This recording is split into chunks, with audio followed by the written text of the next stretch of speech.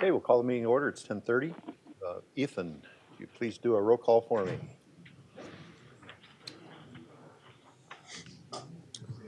Jeff Swearingen.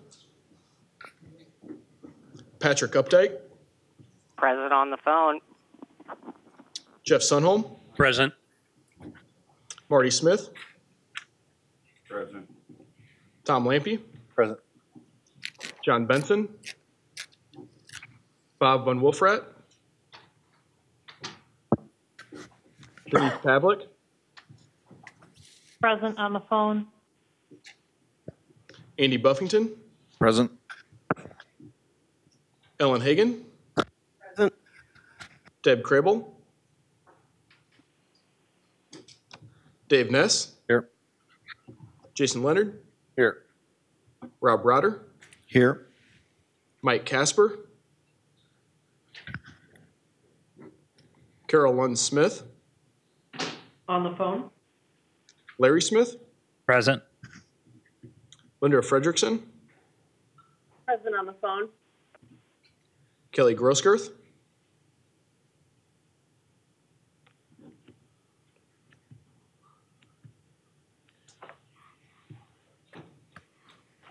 Got 13, got a quorum. Thank you. Do uh, introduction of board members, if we could start with those on the phone. Patrick. Patrick Updike, Iowa Department of Corrections. Denise Pavlik, Scott Emergency Communications Center, representing communication centers.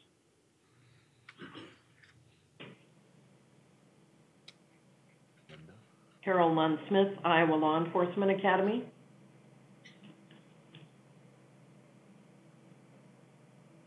Linda Frederickson, Medic EMS, representing Emergency Medical Services.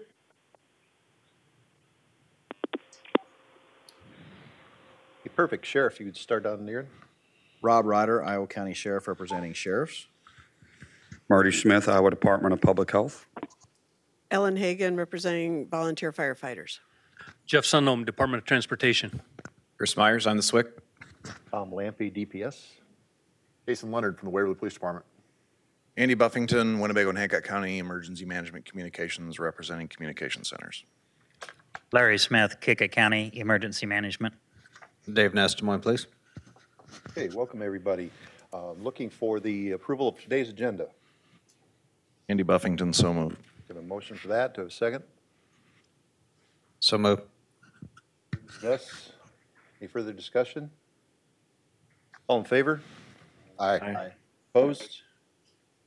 Okay, motion carries. Approval of the meeting minutes from February 8th. I'll entertain a motion for that. Larry Smith, so moves. Okay, do I have a second? Second. Second, Mr. Leonard. Further discussion? Who wasn't here and l- read them this time thoroughly.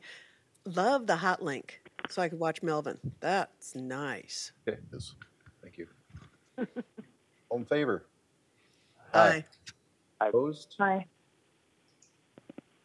Okay, motion carries. SWIC report. Thank you, Chair Lampy. Uh, start starting things off today. Uh, got an email from uh, OEC Director Dusty Rhodes uh, back in February. He was absolutely thrilled that they had a high number of last-minute SafeCom surveys, and I know many of them came from us. Uh, he was so happy that they extended the deadline of the SafeCom survey. You may have seen our Facebook post.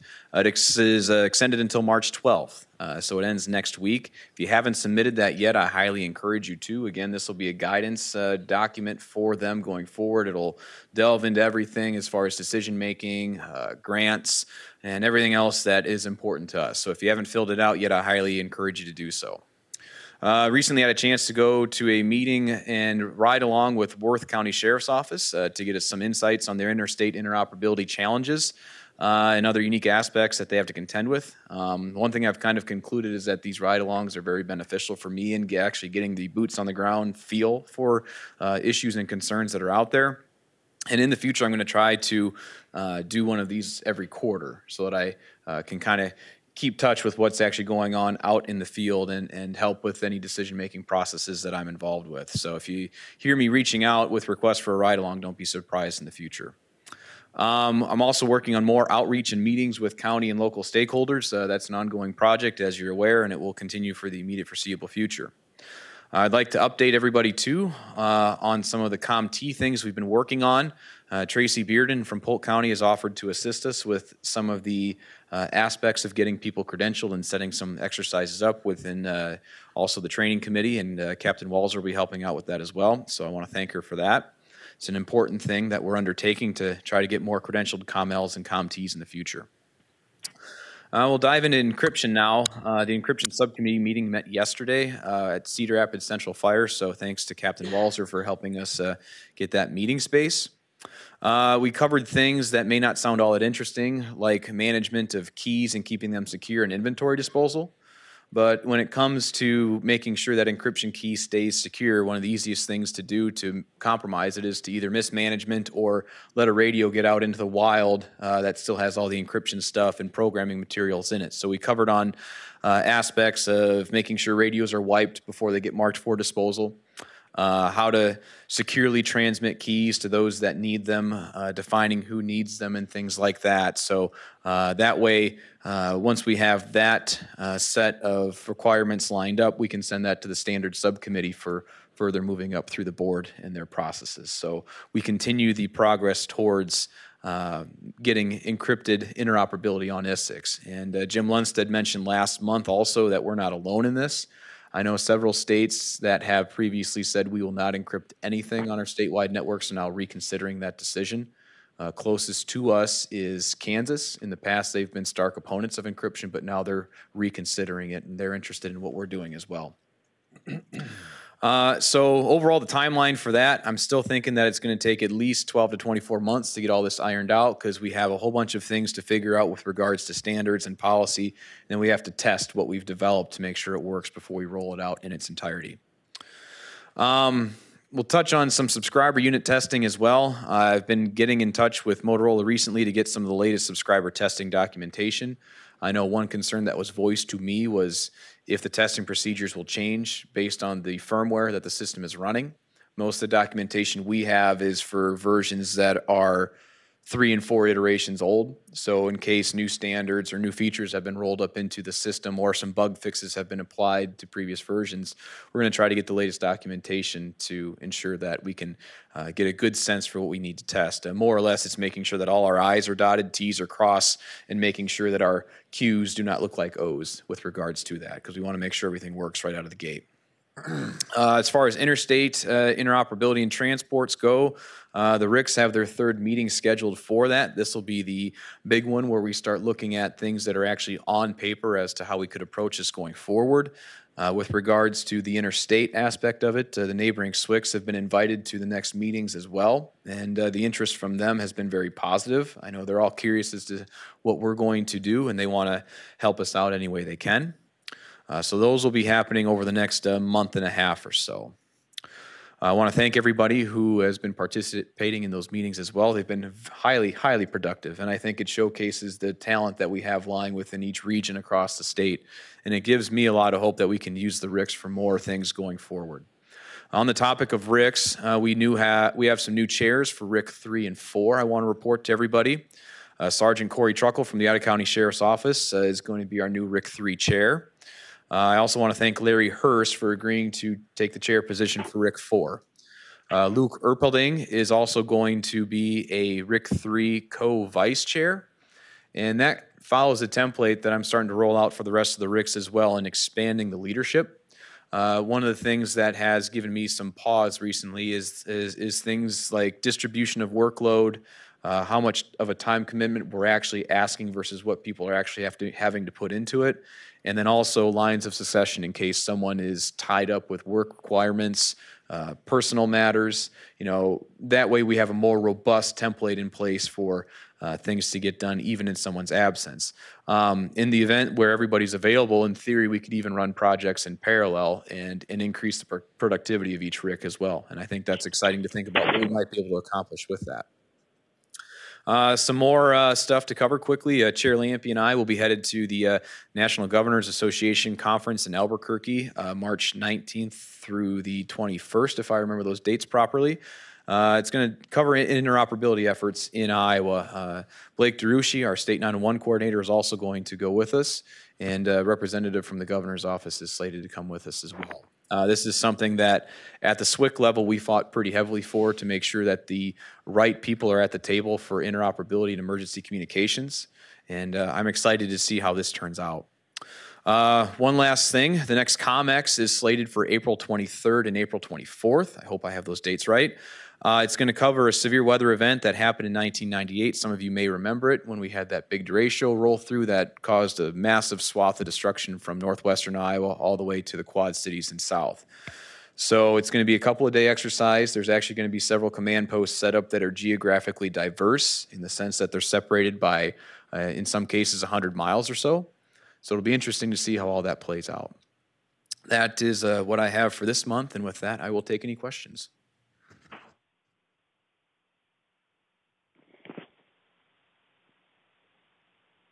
All right, thank you.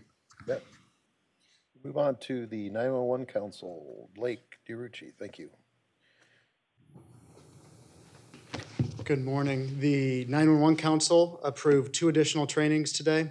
Uh, One for Union County, which is a two-day course on uh, ethics and legal, as well as officer down. And the second course for Van Buren County, which is a Gold Line Success training that we've approved a couple uh, uh, else, a couple other ones in the state. Uh, Two things to bring to your attention. Last week, uh, the auditor re- released its report on PSAP expenditures. If some of you are familiar uh, or uh, involved at the PSAPs at, at your county, uh, this is about the eight-page spreadsheet where you list all of your expenditures that go towards running the PSAP, not just 911 surcharge.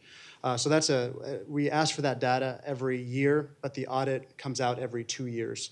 Uh, it's been remarkably similar over the lifetime of this, uh, this report, which is four years now, so two audit reports, uh, that about 25% of PSAP expenses statewide uh, on an annual basis come from 911 surcharge. That means the, the rest comes from local sheriff's fund, local general fund. Uh, The audit report uh, pointed out uh, that there was no misspending of 911 funds, and also kind of, again, reiterated that local PSAPs need to maintain their, their data a little bit better, show their work, if you will, when reporting their expenses uh, on the form.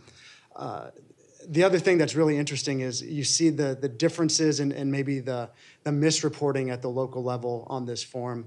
But in aggregate, statewide, there's actually a high level of confidence that the data that we're getting is correct. So it kind of offsets each other uh, when there is um, mis, uh, misreporting of the expenditures. And, you know, a lot of that, and they point this out in the report, is just training, the continual turnover at, at the PSAP level uh, and, and who submits that form. So uh, that's something our office is, is always continuing to try to improve upon and, and work with PSAPs on getting the best data. We want the, the, an accurate picture of what it costs to operate a PSAP. It helps me with a, a couple of the federal reports that I have to submit. Uh, so we have a good idea of what it costs to run 911 uh, in the state of Iowa. So wanted to make you aware of that and also um, make you aware of a, a rather spirited, at least for us, discussion that we had at the 911 Council meeting regarding certain hospitals uh, falling under a, the definition of a political subdivision.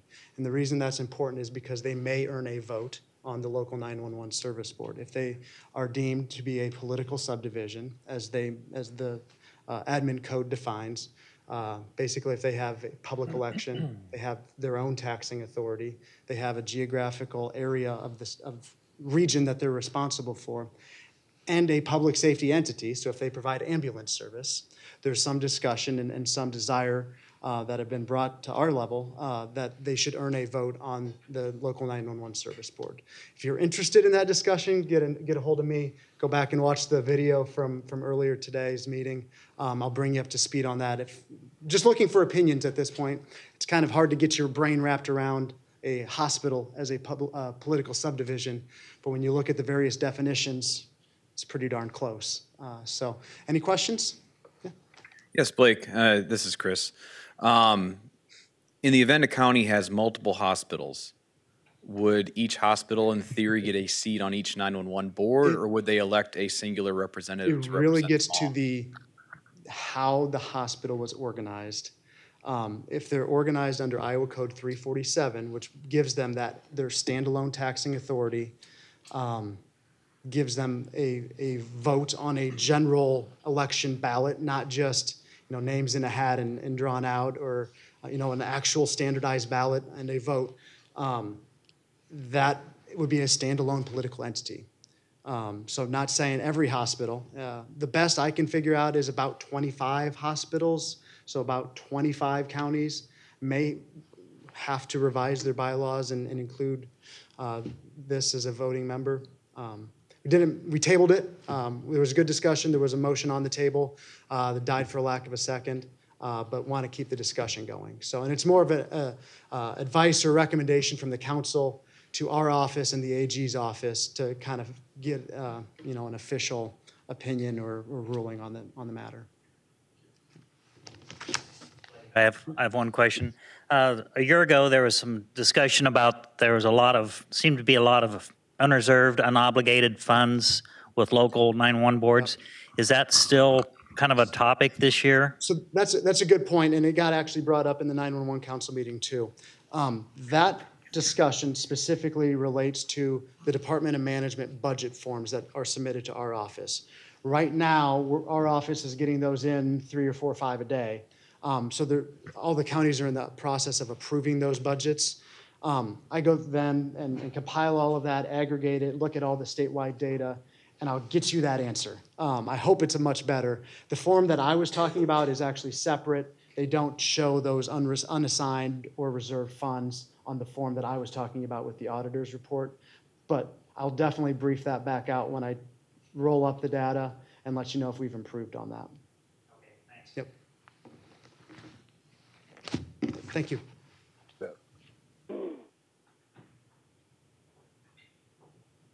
Okay, we'll move on to the user group committee. Chair Buffy. Thank you. Uh, User Group Committee um, continues to work as, uh, as Swickmeyer's reported, the RICs um, are starting to, uh, to gain membership. Um, It's still a slow process um, in different areas of the state. Um, However, that, uh, that continues to roll along very well. We'll have four applications that the, uh, um, The user group committee has um, recommended approval to the board. We also have one change, and that was an error of mine um, that we'll discuss um, in old business. Uh, During the user group committee meeting, we had uh, some discussion regarding um, the want um, of certain areas of the state to have a metro area interoperable talk group rather than just using the regional or statewide. Um, I- think consensus at this point is the, those areas that wish to have a talk group specific to uh, a metro area, um, we will consider those as they're presented to the user group committee. Uh, Once they're um, brought there, they'll be, um, they'll be uh, forwarded here to the board level um, to uh, essentially be approved um, for the creation of those, of those talk groups. Um, I I believe it's going to be a short amount of time until Central Iowa will have that in front of the user group committee.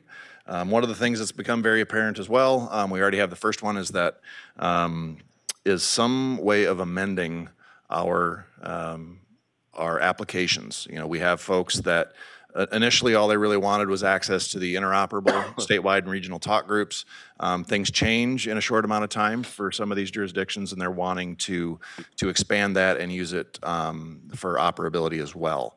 Uh, so right now, what we're what we're faced with is we're just having them go back through the application process and and resubmit um, their documents and supporting documentation um, because as one entity representing um, multiple public safety entities or political subdivisions, if you will, um, they, uh, we want to make sure that we're doing it right. Um, And I don't know if there's going to be a better process, but anyway, we're just kind of underway of talking about that and trying to figure out specifically what that means. Adair Guthrie is, is really the first um, going through the fray. And they, uh, again, they've resubmitted their matrix of users, their, um, their memorandum of agreement, or, uh, yeah, memorandum of agreement, um, and uh, uh, different documentation like that, as well as um, documents from the municipalities um, that are going to be under, uh, basically underlying signatories. So that's the end of my report. If there's any questions.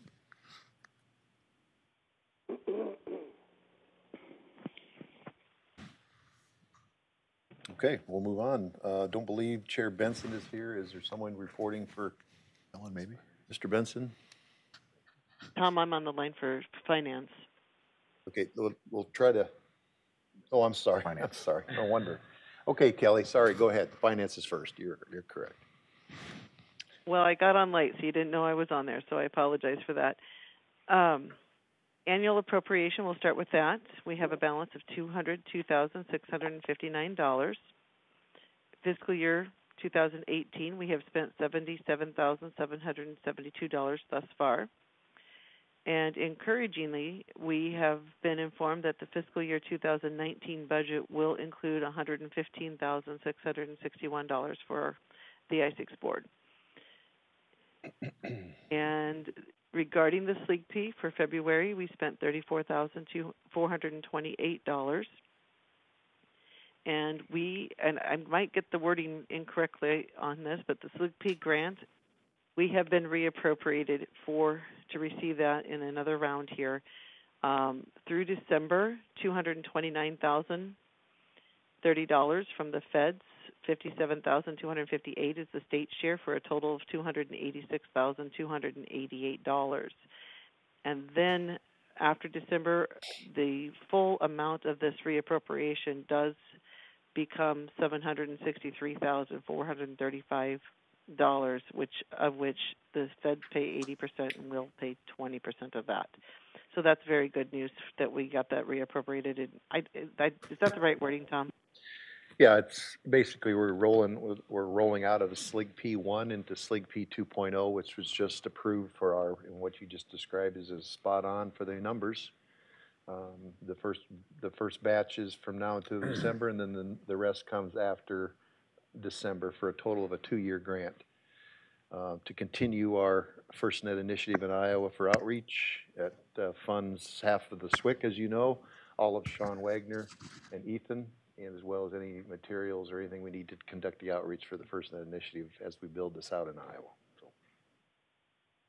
Yes, it is good news that we So, very, received. yes, very good news. And um, the finance committee did meet on Tuesday, and um, we're okay with the financials that we saw. Okay, I would like to introduce the new member, if he's, Jim, I want to put you on the spot. You could stand up and uh, give a little of your background. Jim, I- I'm not going to mess up your last name, so you're going to have to say it yourself. Why don't you come on up front? Jim is our new uh, Director of uh, the Finance Bureau in our Department of Public Safety. Yeah, I'll so my name is Jim ahead. Wintweiler. I'm the new director for the Administrative Service Division for Public Safety. Um, actually started 20 days ago, so came from corrections, uh, went over to work for inspections and appeals, and now I'm over at DPS. And yeah, do you guys have any questions for me? So Jim replaces Nikki, basically what she helped Kelly with the finances, because everything funnels, as you know, through the DPS for the payments of the bills and the grants. And uh, is- we're very fortunate to have Jim uh, back in there to uh, keep things in order. Yeah, I guess I'd only clarify that the 115,000 for 19, that's not obviously finalized. That was the governor's recommendation. And so we're obviously waiting to see what legis- legislature approves, hopefully here in the next coming month. So Could you reiterate, uh, that it used to be 154, 650, and, and the reason why it's now 115? Well, there was, I, I know it's believe before there was your a- time, but- Yeah, it was before my time, obviously, and my guess is obviously part of the de- de-appropriation. So we were from the previous year. de-appropriated uh, a certain amount of money, and then that carried forward into the, we didn't, that- we didn't re- get that money back. So far, the governor's recom- uh, appropriation adjustments that she recommended in January did not have any adjustments to this particular appropriation, so it's, what was in eighteen was still recommended for the same amount in nineteen. So, All right, we'll wait and see, right? Yep. Okay, thank you, Jim. thank you. I'm the voice you heard yesterday. Oh, okay. All right, thank you. Thank you. Okay, now we'll try governance. Is there anybody uh, going to speak for Mr. Benson unless he's on the phone? If he's, assuming he's not on the phone, uh, governance did not meet uh, this month. There was no action to uh, discuss or consider. Okay, thank you, sir. Operations, uh, Deb, are you still on the phone? Or she was never? No, she's not on the in? phone. She sent me her report to Chair Okay. Lampy, so I can uh, pass that on to Okay. you. Um, the letter to all the PSAPs was sent out uh, this past month, as well as the short survey. Uh, the questions included Uh, number one, does your PSAP provide radio dispatching of police, fire, and/or EMS? Uh, question two was, if so, does your PSAP or communications center have access to the ISICS platform? Uh, and then thirdly, how does your PSAP or communications center access the ISICS platform if you already do have access? Uh, any comments and answers to the above questions will be recorded and categorized. Those PSAPs uh, that indicate uh, a need for assistance for connectivity will be identified, and a report of those responses will be shared in April's ISICSB meeting. Uh, the Ops Committee also discussed a question proposed from the UGC with the eventual uh, use of LEA going away. How uh, does the Operations Committee have any opinions regarding replacements of the type of local resource commonly used by legacy VHF users? Um, so that is what they discussed at their meeting uh, per an email from Chair Crable. Okay.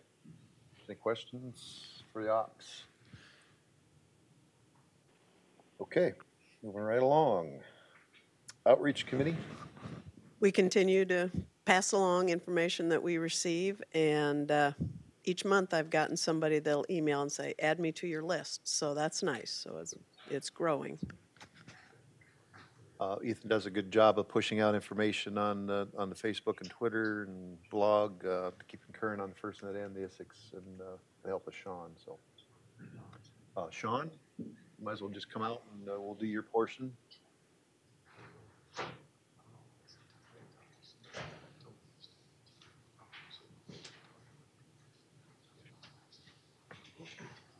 All right, thank you. So this is going to be pretty fast. Uh, with SLIGP 2 going on right now, we're just trying to work with the NTIA and the grant directors to make sure that we are tracking along with what their intentions were and are for the SLIGP 2. So we're heavily working with FirstNet, uh, the NTIA grant director, as well as AT&T to make sure that we're all tracking. It's the the language is quite I'm going to call it nebulous. So when when the grant directors, when we spend two hours on the phone trying to make sure that we're in alignment, we I have submitted already a two-page document, kind of outlining uh, the next 12 months as far as what outreach intends to do, to see and make sure that we do get sign off because there's verbiage that says as directed by FirstNet. So it was important for us to take the necessary steps to make sure that everything is in alignment.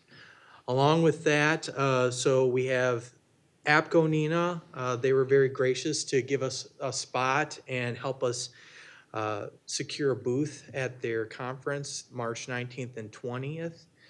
We've started, i I'm going to call it a technology transition meeting. Uh, we've had a few members from RIC 2 who were who wanted to stimulate how we were talking about technology between county IT, PSAPs, uh, all the all the players and public safety in IT. So we had our first meeting. It was very good. We talked about case studies in which we could share with other counties across the state, counties and city entities, whether it be apps that they're uh, looking at for public safety, data sharing, as we know, that's a big thing. And all this is part of what the new SLIGP 2 grant is looking at is technology transi- transitioning as well as data sharing. So these were kind of the big uh, genesis for, for this meeting. The last part is uh, kind of as Andy alluded to with the UGC group, uh, the evolution of joining ISICS is, is constant. Uh, we will be putting out a big code update on the ISICS website in the next week.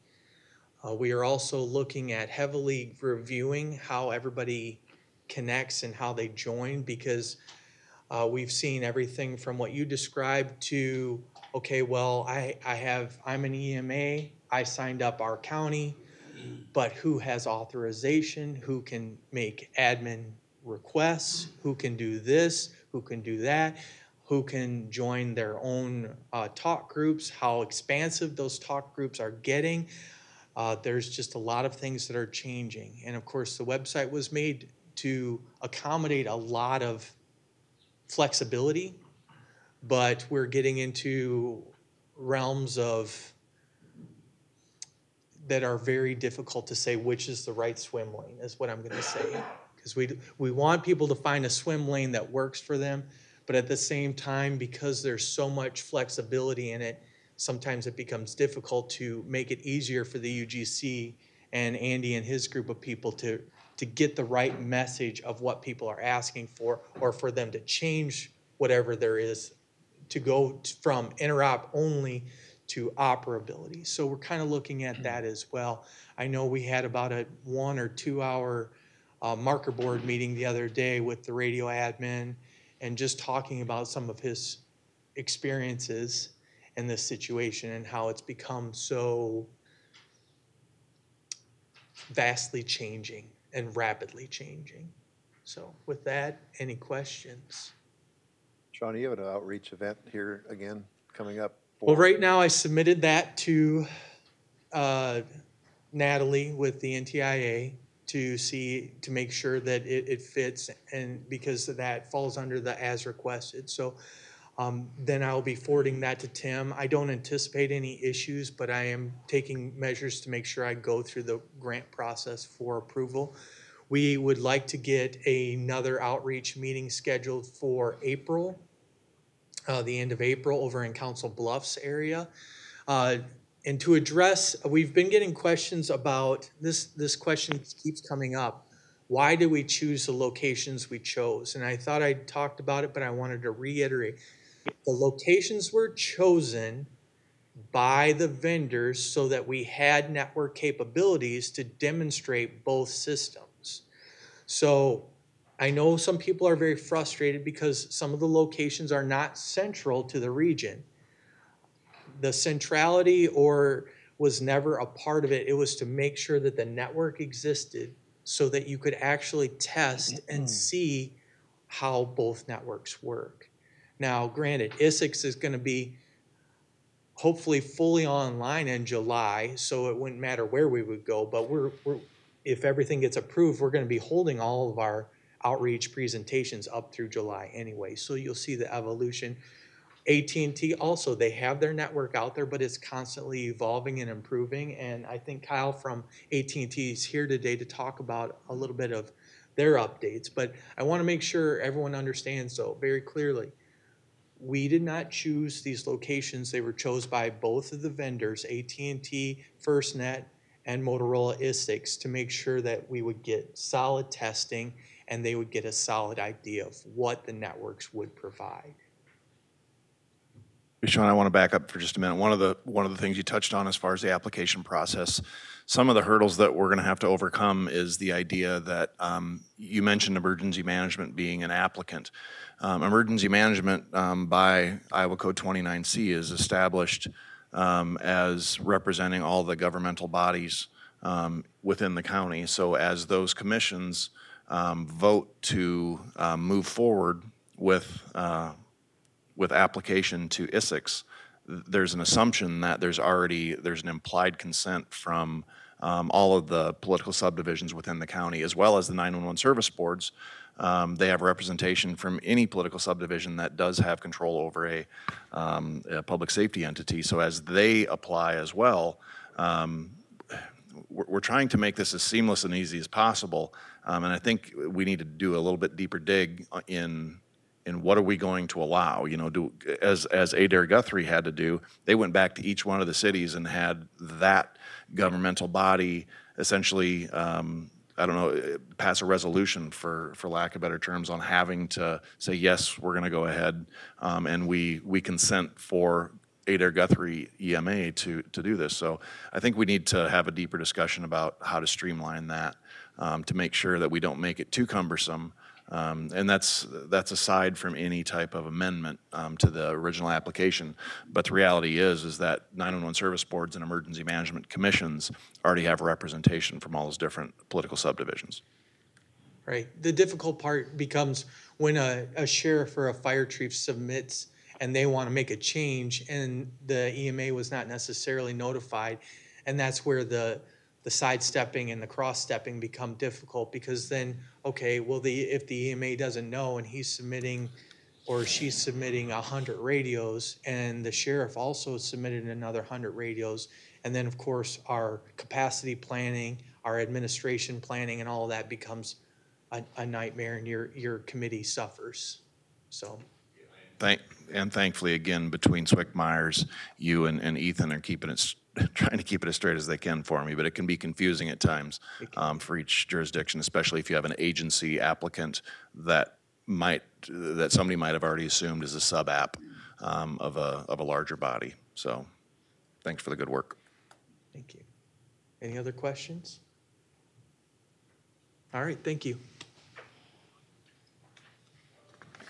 Okay, we'll move on to training. Denise, or I'm sorry, yeah, Denise, are you still on the phone? I still am. Okay, go ahead. So the training committee, we had changed uh, our meetings to every fourth Wednesday. They were every third Wednesday. So this month we met via conference call on February 28th. Uh, we discussed uh, training that we had already had, which was a Gateway Train the Trainer class that took place in January, the week of the 21st. There were supposed to be three sessions across the entire state, west, central, and east. Um, we were able to uh, have a very successful class in the west portion and central portion. The east portion, due to uh, no enrollment, uh, they had to cancel that last day. Outside of that, everyone um, has given very good feedback on the Gateway Train the Trainer class.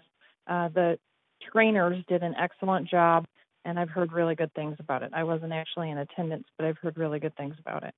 So we were excited about that. The second class uh, course that we had was a COMT course. Uh, they did have 10 students. The class went very well. And because there was a, a little bit of a lower enrollment in the class, they were able to get a little more hands on time, which was very beneficial for the students. So that went very well. Uh, and um, Chris Myers actually already talked about the upcoming event in April of the 23rd and the 24th. If anyone is interested, I'm just going to um, say that you can contact uh, Rob Hedgepath. They are looking for participants if you're interested in doing that. And I believe that the areas that they're going to um, host in, I think, are Cedar, Johnson, and Polk counties. Um, I could be wrong, but I, I think that's what we had talked about. Uh, SWIC Myers also talked about Tracy Bearden uh, and how she is looking to get ComT's uh, a venue so that they can uh, get all of their task books signed off and be credentialed for the state. So we thought that was uh, very good. The next thing we talked about was uh, train the trainer. We were looking for a ComL train the trainer class. We had applied for the OAC, and obviously we're still waiting on all of those requests based on what they do with the budget and everything at the state level. However, or at the federal level. However, um, what they were talking about, Jim Lundstedt, if he's there, he can talk a little bit more about it, I'm sure, is maybe doing a regional train the trainer com L class that we would most likely or have a better opportunity to be able to get that TA request. Um, what that would entail is each state regionally would get two seats per state to put one of their people in there to be trained, you know, to be trained as a trainer. And then if we were to host it in Iowa as a regional class, we did talk to Jim. If the seats were not all filled by the other states, then Iowa would have, so to speak, first dibs to put additional uh, trainers in there if we wanted to do that. The next thing we talked about was the uh, end user training standard that did come back to us. It wasn't approved at the governance committee. They had some language that they wanted discussed. We did discuss it at the training committee level. We did table it based upon a few other items that were in there. and We're going to work on it a little bit further at the next meeting. We also talked about, as a part of that end user training standard, how were we going to talk about how we're going to roll out the training, who's going to create the curriculum, how is it going to be implemented, how is it going to be maintained, and all of those questions. So, from the training committee, we thought that we really needed to talk with Chair Lampy with regard to potentially getting someone to assist us and, and help with all of those items, hmm. developing the curriculum, moving forward with that. So it just so happens that Chair Lampy is um, one one step ahead of the game. So when we did speak to him, Chris and I uh, spoke with Chair Lampy, who already had a proposal for consultation and training services. And uh, that proposal is currently with DAS. Um, and it is to help develop a training curriculum and then assist with the rolling out of the training and implementation, how we're going to, how all of that is going to be accomplished. Um, because it is with DAS, it will need to go to RFP, and I'm sure Chair Lampy, if you want to uh, pipe in, you can probably talk a little bit more about it. But uh, Chair Lampy did ask the training committee if they could um, potentially be a part of the selection process once all the proposals are received. Outside of that, that's my training report, and I'm sure if Chair Lampy wants to add more to that last item, that would be great. Sure. Uh, Anytime we have over a certain amount, we have to follow DAS rules uh, with the state, so we can't just pick somebody to just go do our training for us. So I had one, uh, one company that uh, did just that, proposed something for us, so I immediately shipped it to Jim, who's our new director, and he then uh, got the process rolling and, and put it into the DAS process to get a uh, person assigned to it. So it will have to go to RFP. Uh, And then once it's out on the street, on RFP, people will, uh, companies will bid on that, on what we ask for specifically. We'll have to ask, we'll have to write the RFP on what we want, what do we need, what are we trying to accomplish here? And they'll respond accordingly, and we'll go through that process. So I would anticipate the Operations Committee and maybe the uh, Technical Committee or any other committee get involved with that process of scoring the responses and selecting uh, a vendor to, to conduct our regional training in all six regions. And I don't know if you touched on it or not, but th- this is a crucial tipping point for us. We have to, with the regional training in each region, which we would invite, I mean, each, each region typically has, you know, 12 to 14 to 15 counties in it. So if we do it by the region, we invite all the counties and all the PSAPs, uh, that it's imperative that you come to this training to learn how to use the ISICS interoperability system, how to use the regional talk groups, what they're for, how to use the tactical ones, how to use the statewide ones, uh, and all that. And, and, and by the way, the policy for those regional talk groups and statewide talk groups are already, hopefully, will be done by that time. So everybody has guidance and with policy and protocol that the board has introduced and passed as how those are to be used in what scenarios they are to be used. So it needs to be a nice, nice package. I think uh, with Terry's group, with the user group committee, we have to make sure that we put on the, on the top priority, since we are hopefully going to start this process of this regional concept of training on the system, that we get that particular policy to the forefront, so we get that passed on the protocols and, and, and how to use that, um, passed by this board on how to use those and when they're to be used. And uh, it's our duty to do that, uh, to get that established as fast as we can. You don't want to go do training without any, any standards. Um, So I think that's in the queue. Um, If we can find a best practice from other state, that's even better. We don't have to start from scratch. Uh, So yeah, that's, uh, I think is a good step forward. It's a tipping point for us because this thing is coming fast, faster probably than we thought. Uh, So by September of 18, uh, there's going to be a lot of, uh, a lot of stuff going on and uh, for the good in the state. So uh, we got to be prepared for that as a board to set those standards for that time period.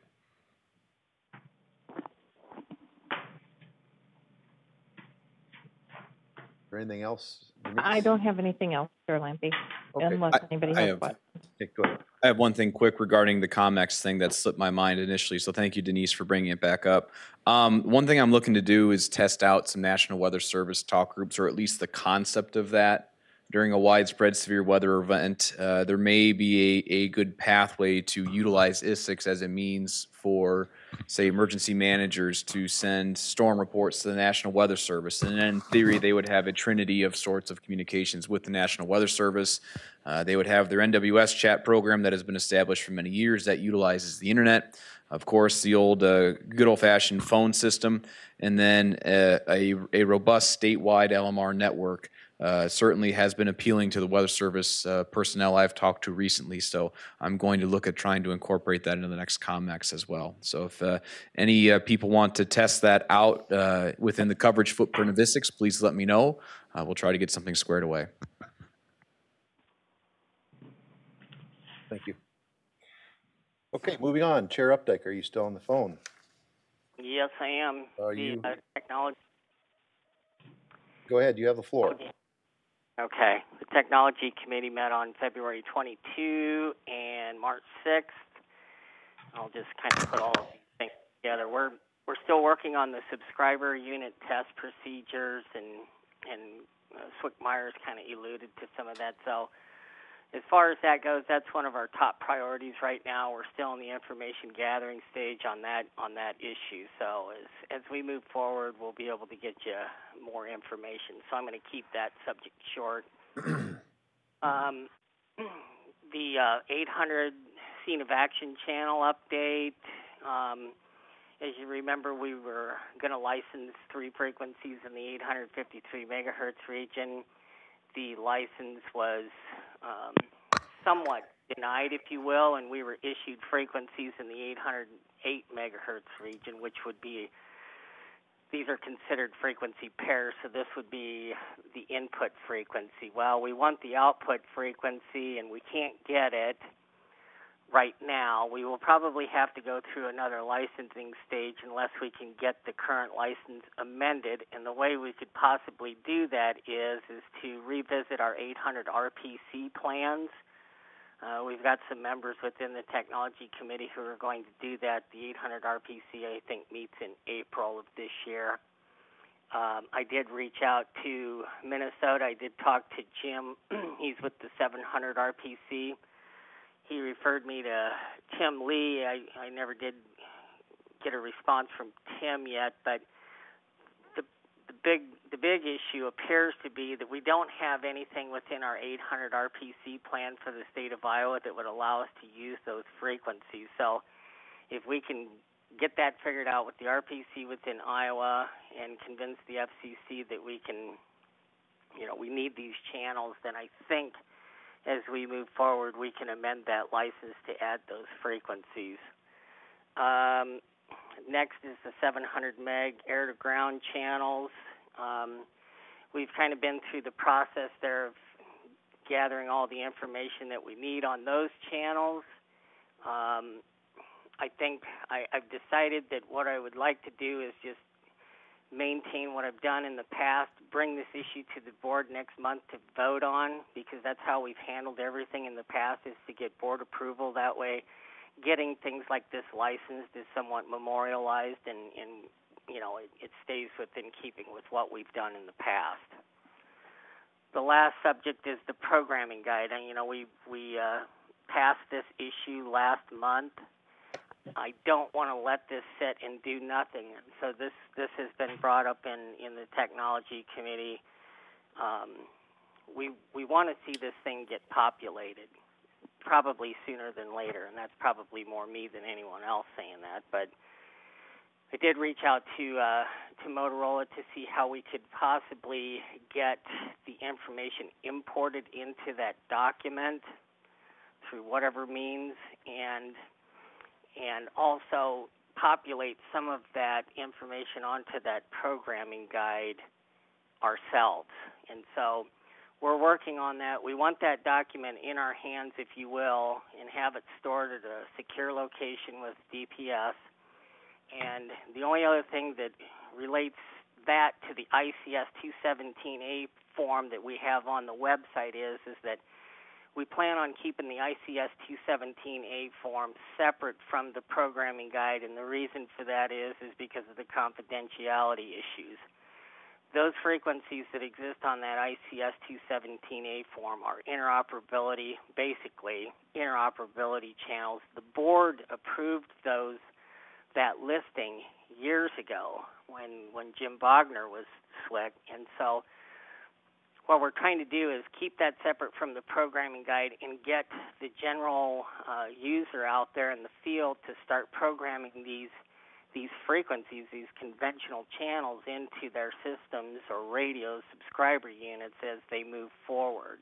Because there's been some topic or uh, discussion with some of our members about, you know, how are we going to get people to do this? You know, use these channels to enhance the overall ISICS system and have those capabilities in the event that they they need specific frequencies. So, as an en- an end to all of that, I'm going to try to reach out to our uh, outreach and or training committees to see what we can do to get this information out there and and uh, you know get people on board that you know yeah we have an ISICS system and yes it's going to do all these things but we we'd really like to see you add these as much as you can to your your overall fleet mapping so that you know it's there and and you're following the interoperability side of it if you will so that's all I have for this month if you have any questions Patrick, this is Larry Smith. I've got a question here. On your programming guide uh, process and also your approved radio listing, you got any idea how soon that'll be available? Because, for instance, for myself, I'm purchasing or looking to purchase radios, and I'm kind of wanting to, on, on the bubble here, you know, and to make it fair with these vendors, uh, there's a lot of agencies out there I feel that are getting ready to to either buy yet this fiscal year or next year, that they need some guidance on what to be buying in all fairness to the vendors. Yesterday would have been fine with me, but we know that that problem exists, and that's why we're trying to move on this as quickly as we can. We understand that uh, if we can't get some of that information populated because the the vendor is busy trying to focus on building out the system, we are trying to input some of this information uh, manually. The only thing is, the only thing that comes up as a concern is, is how this document will be handled since it's, you know, a confidential document. Does that user have to be an approved user of the ISICS system before that information is handed out? I think that's something to consider. Yeah, so are the, are the vendors going to have to go through a vetting process to, to be able to, to do programming? You know, I, I think we need to get this sorted out real soon as well. Well, I think, and maybe Chris Myers would like to jump in here, but I think uh, we do have some of the system information that can be populated into that. Yeah, uh, Patrick. Uh, and actually, we have had some vendors program radios up for other entities that we already know are legitimate vendors and all that stuff. Um, I think what you're kind of getting at is how do we want to vet other people in the future that say, well, I can program a radio? So we just want to make sure that not any Joe Jack or Shirley can go and do that. So uh, we can start looking at a process for that. Obviously, we have several established vendors within Iowa that more than uh, are more than adequately equipped to do that type of work, and uh, we know that they can be trusted with that information and keep it confidential. Uh, based on their previous clientele. So uh, that's something we can look at going forward as well for some smaller shops um, that may not be on our radar per se. As far as the subscriber stuff goes, my hope is that we can have something lined up within the next month or so as far as, uh, you know, things that we're going to have to address based on the Astros version that we'll be running on and the TDMA to FDMA argument. Um, there's plenty of documentation out there for FDMA subscribers, and if we see that, well, for the most part, you know, features A, B, and C are the same whether you're in an FDMA or a TDMA environment, you know, it doesn't matter. But there's this one feature here that we want to have across the board that may vary a little bit depending on TDMA, then that's something we need to look at. I'm not expecting any tremendous problems with that at this point, but uh, then again, uh, that's not to say that those problems don't exist. More or less, we want to make sure that no one ends up purchasing equipment that doesn't work. Uh, I, I think that's that's the end game here. Um, Or, or purchasing stuff that they don't really need. Yes, that too. Um, anecdotally, the stuff I've had a chance to see tested so far has been very reassuring. So when I have more, I can uh, work with Patrick and we can report back on that. Okay, appreciate everybody's efforts. Okay, we'll move on to other reports, information sharing, uh, anything on board member level we'd like to discuss amongst ourselves here? Somebody's grabbing a mic, I can see that. Okay, go Uh, ahead. Just to give a little situational awareness, IDPH, Iowa Department of Public Health, is going to be doing a um, full-scale um, mass casualty exercise on June 23rd in, at the Abate Freedom Park in Algona.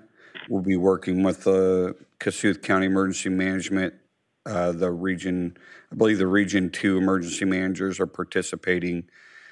The Healthcare Coalition Service Area Two will be participating. We'll be bringing in um, other state response teams, IDPH's public health response teams will be there. Um, it'll be a large exercise.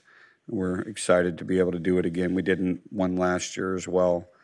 And we'll be uh, looking for some support from uh, maybe an STR trailer, and I'll fill out the proper paperwork to do that. Is that going to be? It's uh, Algona. That's the Abate uh, Freedom Park. So it'll be right before they have their uh, rally. So um, we think it's going to be a great thing. Go ahead, sir.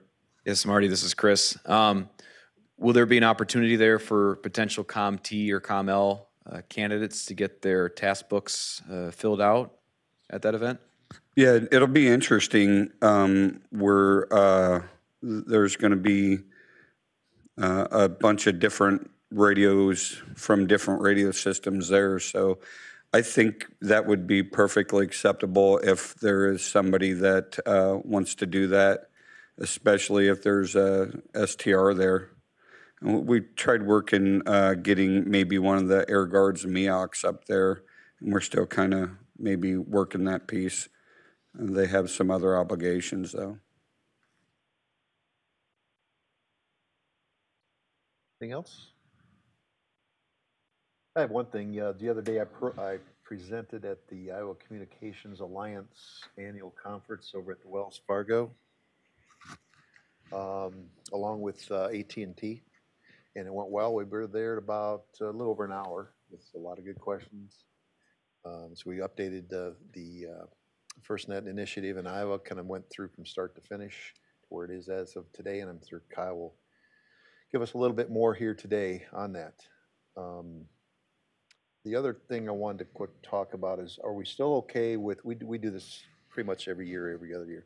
We take a look at our board meetings and when we meet. Is everybody still okay with their schedules that we meet on the second Thursday of every month? Uh, there has been some concern expressed about that interferes with other meetings. We used to do them on Wednesdays, as you know. Uh, is it still okay that, are we still good with that? I know it affects the nine-one-one council, so I don't want to do a whole lot of changes we don't need to, but uh, Does everybody's schedules allow them to continue? And we've been doing really well with the quorums, so just want to make sure that we're still intact. Okay. All right. Hey, we'll move on. Uh, Melvin, are you on the phone today? Uh, ye- yes, I am. Okay, so Melvin will give the- his report over the phone on the uh, system update. Go ahead, Melvin. Very good. Uh, I was planning on being there in person, but uh, I was recalled back to Chicago, so um, this will be relatively quick. Um, last time we had met, uh, I indicated we had um, um, pretty much every site in the system is either was either done or in process of being built. Um, so what we had pending were the three Iowa public television sites and then the five lease sites um, that he, we didn't want to start because we want to make sure everything else was was good. Um, so, as far as the IPTV sites, I think the uh, the issues have been resolved.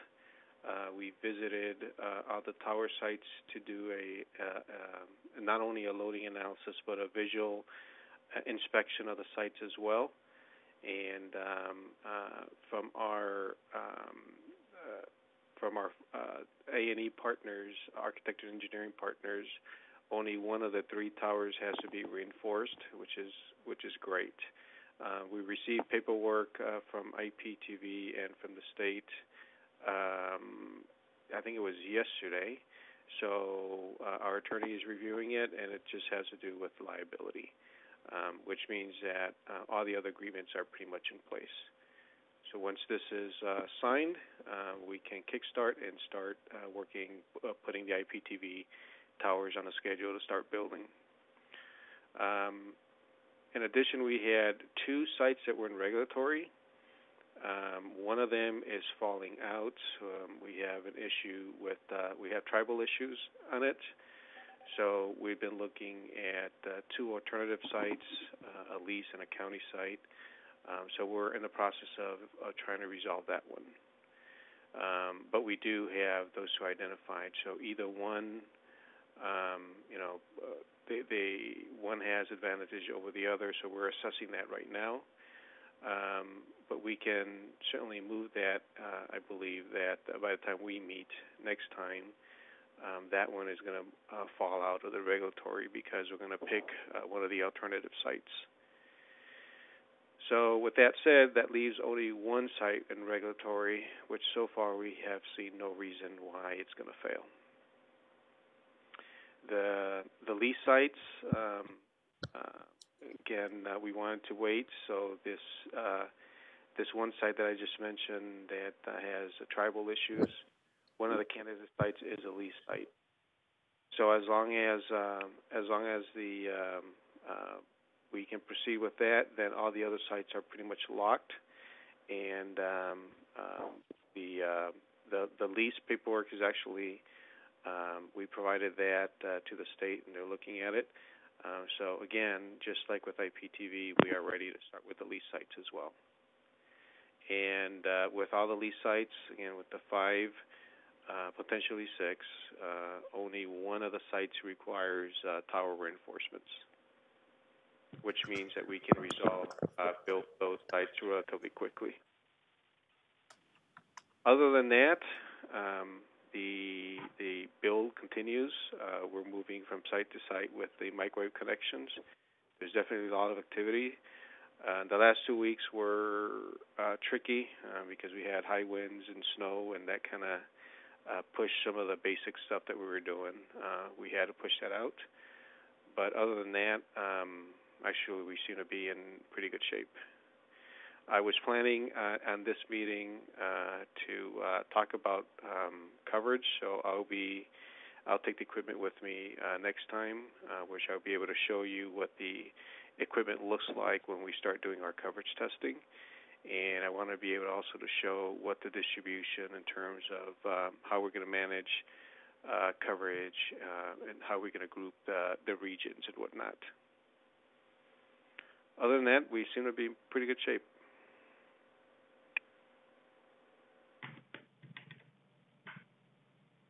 Melvin, do you, how many sites are in site trunking right now?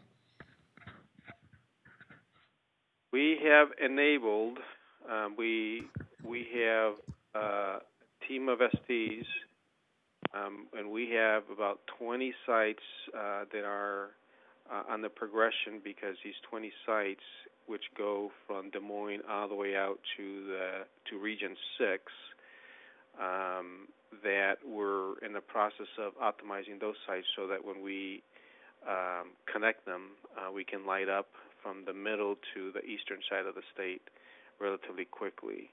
Uh, that puts us about 20. Um, we what we've been doing is sometimes we, depending on the nature of the site, after we optimize it, we disable it so that it's not in site trunking.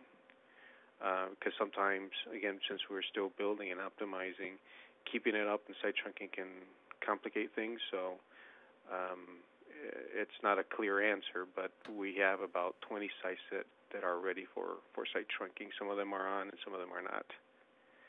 And the, in addition, we have sites uh, on, on the western side of the state, uh, Region 4, um, four sites to be exact. Um, and uh, those those sites are going to be in wide area trunking uh, by next week, I believe. Um, you know, so it's uh, as long as weather cooperates, um, you know, we'll have quite a few sites uh, being powered up. Our biggest headache has been, uh, again, power to the sites. Some of these have taken quite a while to get the uh, the utility company and the paperwork associated to get the powers uh, trenched to the site and, and enabled, which is why we've uh, slowed down on some of the sites because we don't have power.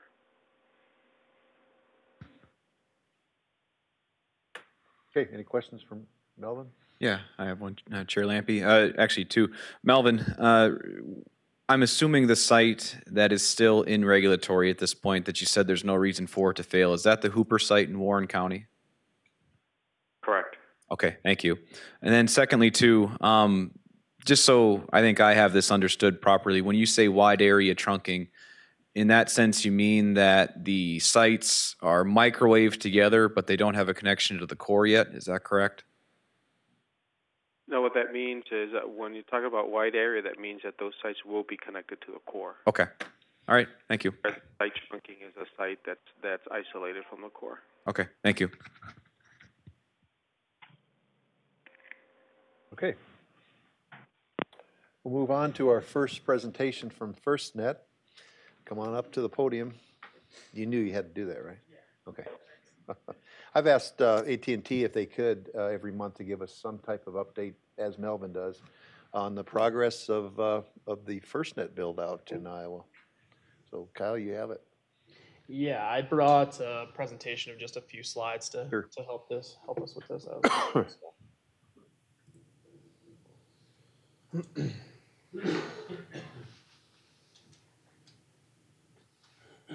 Not sure if you can all see that. Yep.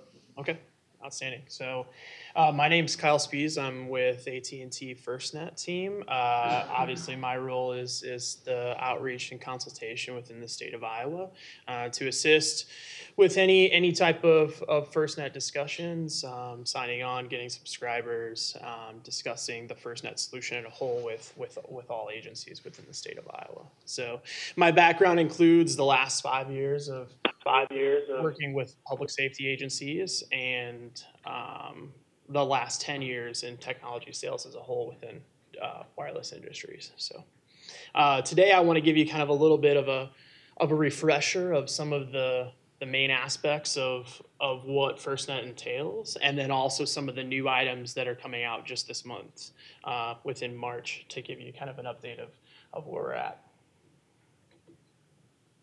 Uh, so, so six key facts of, of what makes FirstNet different than uh, what you have with any other cellular carrier today, including AT&T.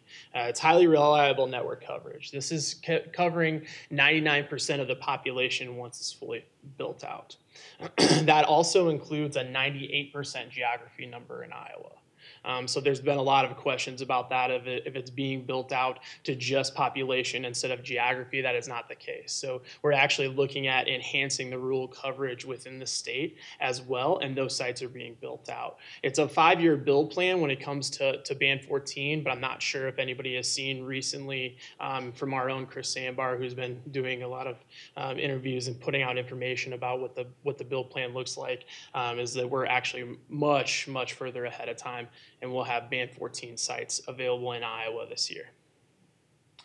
Uh, number two is is priority. Um, so when you take a look at priority coverage, I'm sure some of you are familiar with wireless priority service or the get service that gets you uh, to the front of the line on a, on a cellular coverage or on a landline coverage. Um, what priority does uh, in this case is we also are able to give you quality of service within cellular connections, but it also, uh, the second part, portion of that is giving you uh, preemption on the line. So primary users, police, fire, EMS, and we'll talk about primary versus extended primary a little later, will actually be able to make sure that their data signals, uh, cell signals, text signals are all going through the network, and that if there is a disaster or congestion on our wireless networks, that other users are preempted off of that. Uh, so that what that means is if it's a normal business consumer or something like that, their their usage is taken down and preempted off of those channels, so public safety traffic can go through and make sure that, that the traffic that you're sending is working at all times. Uh, trusted security and resiliency. Um, so to, to talk about that is we're actually coming out with a with a brand new core, which I'll go into here in a few slides, to make sure that you have full end-to-end uh, encryption of all of your data activities, calls, and text messages, anything that you'd be sending over the cellular network. We have a public safety application store, um, and also some events that are coming out to to uh, to help with this. We're having some hackathons, um, some other items that we're looking for developers to come in with more public safety applications for you uh, to be able to test those. And so the application store isn't necessarily replacing an iTunes application store or Android application store. It's it's an actual website that you would be able to go to, push applications out to your users, and they would be reviewed by public safety personnel. Uh, we have a dedicated support team, 24 7, 365, that is all FirstNet trained. So they are trained on the, de- the devices, equipment that you would use that would be specialized compared to other departments. It's not a normal call center um, where they're used to dealing with consumers and business all day. It is specifically trained in public safety applications, including equipment and affordable plans with advanced features. Um, so with with that, I mean, we're happy to give anybody a quote at any time to discuss what the what the plans, the costs are of, of a monthly agreement. The state of Iowa in whole actually has a discounted agreement compared to what you would normally see from what we would like to call list price. Uh, so list price is what's out there, is what you see in a per unit, per smartphone, per data line uh, cost. The state of Iowa has a, a an actually uh, agreement that gives you lower pricing as well.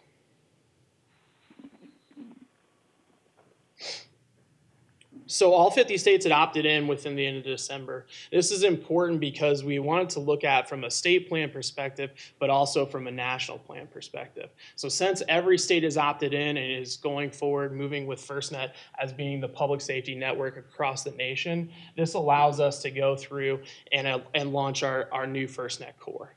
So essentially what the core is, is the brains behind your cellular network. The reason why we want a new core is because our, our current core is, is designed just like every other wireless carrier's core to be a consumer network. This needs to be advanced core to support public safety traffic. This is coming out within the next few weeks. Um, so it's designed to public safety specifications to make sure that the standards of what the First Responder Network Authority is is giving us is is how this traffic is ran. Uh, it's built on physically separate hardware, um, so that makes sure that, as I stated, it's completely separate from our normal uh, consumer and commercial traffic. It's encrypted from end to end. Um, so this allows you from, depending on what type of VPN solutions that you use, it could be NetMotion or anything like that. It keep, this keeps your traffic encrypted even when it's running through a cellular network. Um, so you can be sure that as it's running through, uh, that nobody is being able to see that type of traffic, what you're running, what type of reports you're sending at, at any point in time. It's monitored 24 7, 365. So we have a dedicated security operations center team that's, that is monitoring this core, monitoring the traffic to make sure that the public safety traffic continues to run separately uh, from anything else within the AT&T network heightened capabilities. So the, the biggest example and the biggest reason of why we're looking at a new core is, is giving you multiple priority levels. Uh, so right now, if, if your agency signs up, you have the priority and preemption that we talked about. Uh, everybody gets that. That's a that's a public safety. With this, you'd be able to design your agency's priority levels. So if you have, uh, a, you know, a chief of police, you know, disaster recovery, EMA, whomever needs to have those highest priorities when a when a disaster happens or an event happens, they would have higher priority levels within there. And that's all managed through local control. So each agency is able to manage those priority levels within their area. How's that done? Uh, it's done straight through the website. So if, if you're if you're familiar with local control, you can you can actually design just from uh, to give you an example, you can see your, all your normal stuff, your billing, your users, everything like that. But you can actually, uh, a portion of that, put in your different priority levels that is registered by phone number. so to give you an example for your agency, if you would want yourself as the highest priority, your phone number would go first, and then you list them out. This can help with running traffic to make sure that if you need certain uh, certain members to have preemption or authority first and to get calls out in a congested area, uh, those are able to go through. Thank you for the question. Any other questions on that before I move on? Now, will that be from just eight from a AT&T to AT&T person or AT it could be to others. How yeah. is that going to work? Are yeah. you going to talk about that? Yeah, no, no, that's fine. No, that's a great question. It can be AT and T to anybody. Okay, so we we can only guarantee that your device is going to work. We can't guarantee who you're calling if they're not on FirstNet that it will work. Uh, but we know that your call, your data, your text is going to get out. It's going to go out someplace. Yeah.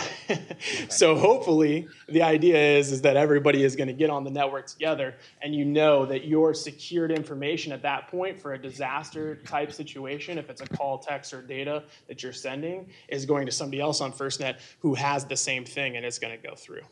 Now you talk about the priority, excuse me. Yeah. Got one more quick question. Yeah. Priority, can, can I identify somebody that's not on AT&T to, to be able to come in to, for me to receive? They have to have FirstNet for the priority and preemption to work. At this point, no other carrier offers priority and preemption. Okay. Well, they offer, I'm, I'm sorry, I misspoke.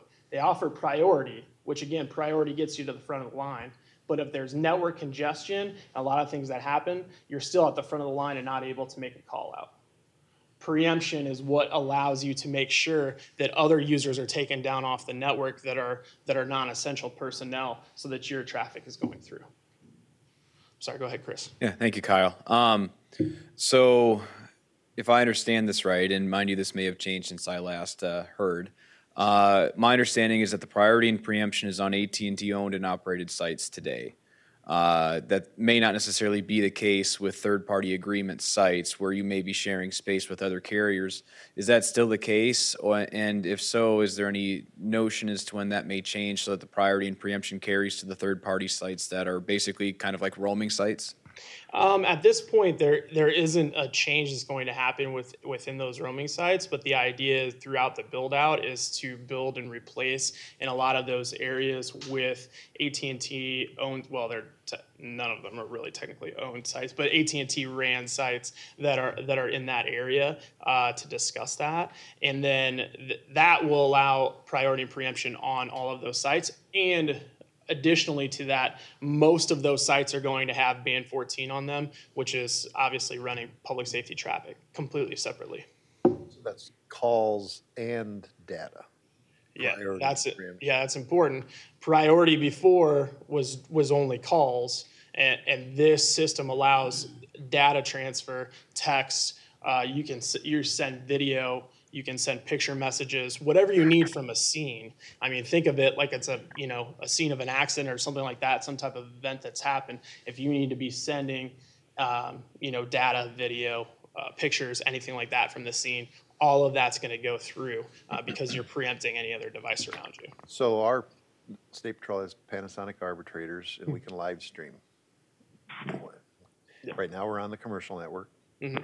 So in, in theory, the SIM card that we put into the laptop in the trooper's car, which runs Panasonic arbitrator, Mhm. it now has a AT&T FirstNet device, getting all the priority and preemption. So when we have the camera live streaming, we're gonna get priority and preemption on that phone number that, that is listed in there, or I can go into the portal and make that phone number, which is running the camera SIM card, always go without any interruption. Yes. So it's it's going to do it anyway. The multiple priority levels is just going to allow you to adjust that if you want to. Okay. It's not something you you have to do. I mean, it's something we recommend so that you can control whom has priority or not. If there's an officer that's not, you know, maybe involved in the in the type of incident, you don't want their data maybe going over some of the others, but they are going to get preemption at all times whether it's it's live video or whether they're just sending a text message. Is local number portability going to be available? Yes. Okay. What about the state's text to 911 program? Uh, Will the PSAPs need any specialized equipment to traverse back and forth? Uh, that's a that's a great question. Uh, I'm not sure if they will need anything that's different. Um, the PSAPs have the ability to be a primary user with on FirstNet. So if they they have cellular devices in that case, uh, that will be priority and preemption just like any others. And I'll be talking about the user types here in a few. That might be something, that's be a question that the PSAPs are going to start uh, asking of of you. What, what are they going to need on their end and what's it going to cost them and et cetera? Right. Yeah. Well, And so that PSAP's a landline, right? So if the PSAP sends it over the landline to a FirstNet device, is Is that how it works? Right. So obviously, we can't control the landline portion of it. Right. Uh, we can only control the cellular portion of it. If it's a cellular device, they can. Uh, but maybe that's something else we should talk about entirely because PSAPs are a qualified primary user. So if they if they have cellular devices that they need to, especially if it's in case of a backup situation, like I've had plenty of agencies before in the past that'll have wireless devices, cell phones in there, so that they do have landline issues, landlines go down, something like that, and they have a first FirstNet device that's there that they can make calls, texts, etc. on. Uh, those will have priority and preemption. So if I'm on my arbitrators, or let's say I'm on the scene of the school and my video's running, but I also want to send pics back and forth to the sheriff or the dispatch center Yep. of the perpetrator, it's going from AT&T's network into the PSAP, Yep. guaranteed. Yes, Preemption priority, I don't have to worry about it not going because the system's busy. exactly. Okay. And it's and it's to pre- it's to prevent from that system that's being busy and from those command centers uh, to make sure that the that traffic goes through and that it is priority. It's going to hit the landline, right? Yeah. It's got to hit the landline. It has some- to. At some point. The only the only the only reason why that would fail in my mind, and I don't I apologize because I know nothing about landlines, is that if the landline is down and not working. Just those two. Yeah, we have, we do have to get that Yeah. PSAP FirstNet understood so they, because they're going to wonder, Yeah. how do we use it? Right. Yep. Okay. Yeah, those are all all great questions. Thank you.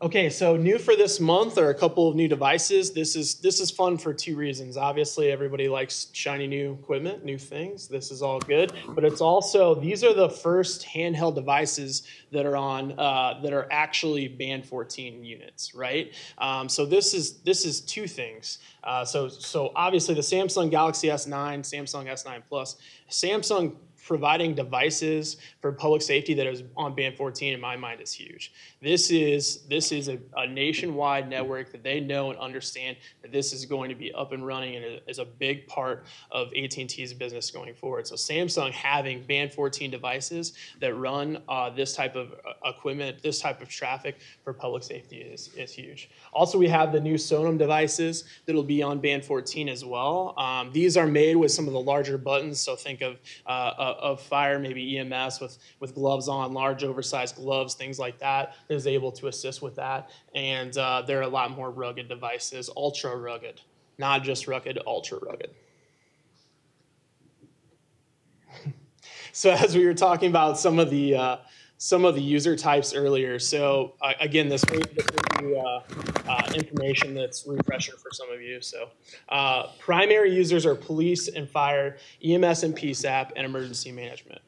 They have priority on the network and they are able to preempt other users at any point in time.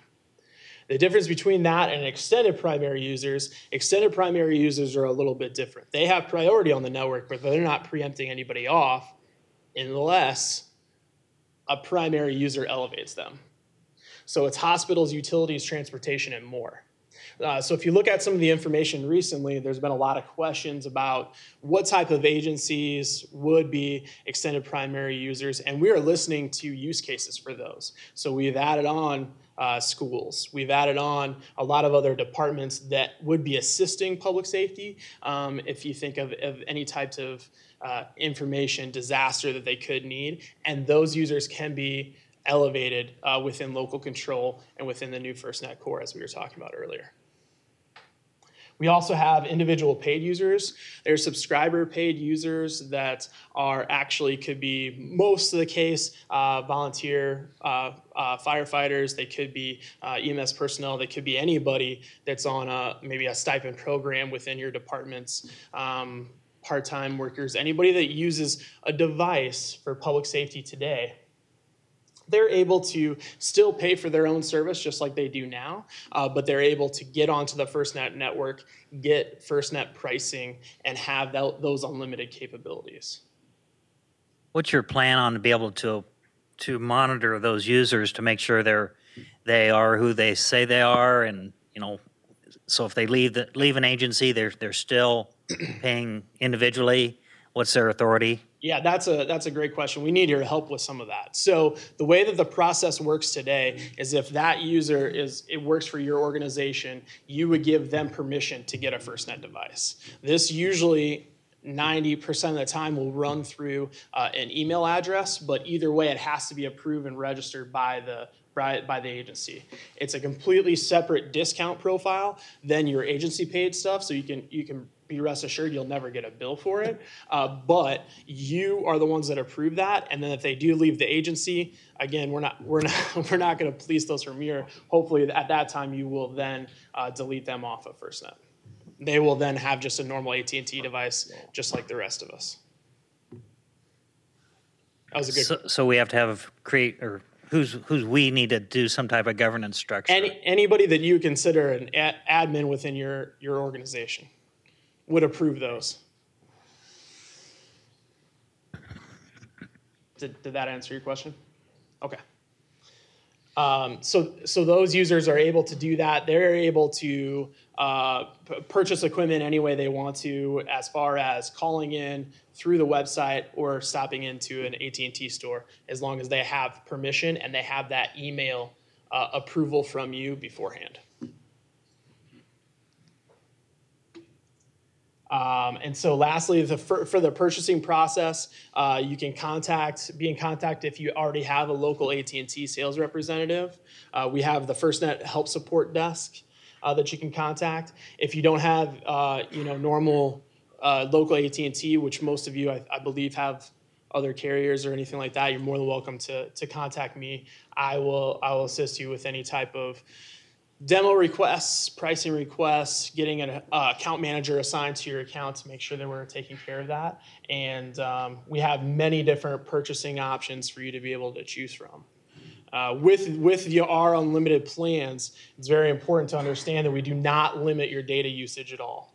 Um, so we're not like any other carrier where it's limited at 22 gigs, 25 gigs. Your data usage is truly unlimited, and that's a part of our contractual uh, agreement with the First Responder Network Authority. Throttle down. Right. No throttling.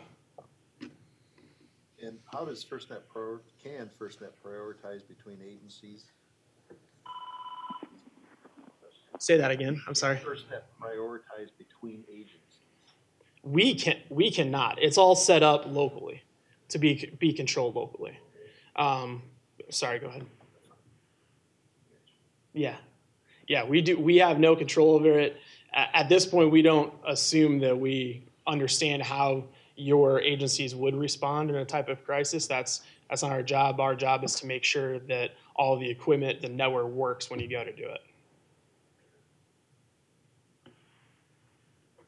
Any other questions for me? Yes. We'll have the ninety-nine percent coverage. So will that be available commercially too? So that if we, I don't have AT&T, so if I got an AT&T, and then I'm retired, is my AT&T still gonna have ninety-nine percent coverage? That that's a Non-first. yeah, net that's a that's a great question. So we're not we're not promising that that you will have 99% population coverage uh, with AT&T. That's only a FirstNet promise. However, uh, AT&T is uh, an organization that still wants wants to make money, right? So as we're building these Band 14 sites and making sure that public safety has the traffic they want to, those will include all the other AT&T LTE bands as well. Thank you. Mm -hmm. Thanks, Ass. Appreciate it. Thank you. Jim Lundstedt, do you? Jim Lundstedt, do you happen to be on the phone?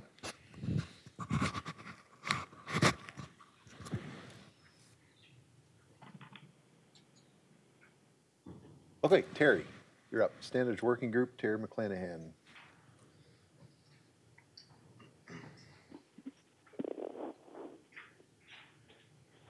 Good morning. Uh, Standards Working Group has not met since the last meeting, but we do have a meeting planned, an all-day event on the 27th of March uh, at DOT. And we have about 10 to 12 different uh, uh, standards that we're looking at at this point. And uh, we're going to try and pick up the pace on the amount that we're covering. As Sharon Anthony mentioned before, on the regional and statewide groups, that's in minor draft form at this point, and that may be presented this time as well. Uh, we just want to encourage everybody that if they can support us in any way with information that we need to, because it's a, it's a really good time to get together to figure out what, how we want this, everything to work and operate for the state of Iowa. Um, The web, website now shows all the different types of uh, standards that have been approved, and so if you ever need to see the standards as they are, they're on the website, so. Any questions? Good work. You got a lot of work to do. Yes. Thank you. Thank you. All right, we'll move on to old business. We have, uh, under old business, amend the former approved application from Chickasaw County EMA to Chickasaw 911 Service Board. Looks like a language change. Uh, Chair Buck.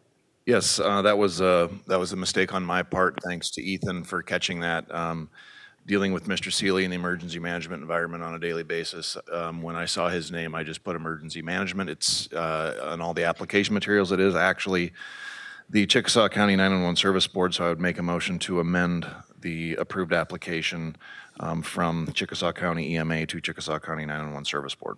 We have a motion on the table for um, Chair Buffington to, from former approved application from Chickasaw County EMA to Chickasaw 911 Service Board. Ness, second. Second by Dave Ness. Any further discussion? All in favor? Aye. Opposed? Aye. Okay, motion carries. New business, uh, Chair Buffington, you might as well just continue. Yes, uh, the, the four um, applications listed there, the 10th District Reserve Law Enforcement, uh, Buena Vista County EMA, Iowa Department of Transportation, and the Jewell Fire Rescue um, have all been reviewed, approved by the user group committee, and recommended for approval. So I would make a motion to approve these four applicants for ISICS access, What levels are they, Andy? currently level one. All of them? Correct. I'd like to second it since that's my department. That looks good to me. So we have a motion by uh, Chair Buffington and a second by Ellen uh, to approve these four uh, entities for the the level one access to ISICS. Any further discussion? Uh, Andy, uh, Chair Buffington, just to make sure, the DOT one, is that level four? I'm sorry, yes, DOT is, well, is DOT level four just for the fact that, you know, DOT isn't necessarily, I mean, they're part of the, you know, the build out. So yes, I would, s- I'm, yeah, thank you for the correction. Iowa Department of Transportation would be level four since they own part of the system as well and are going to be using it operationally. So let's redo the motion then, if you would, please, to uh, You bet. level one, Level one for the 10th District Reserve Law Enforcement, Buena Vista County EMA, and Jewell Fire Rescue at level one, and Iowa Department of Transportation as a level four user. okay, the motion, motion for that, do I have a second? I second it. Second and Ellen again. Uh, Any further discussion? All in favor?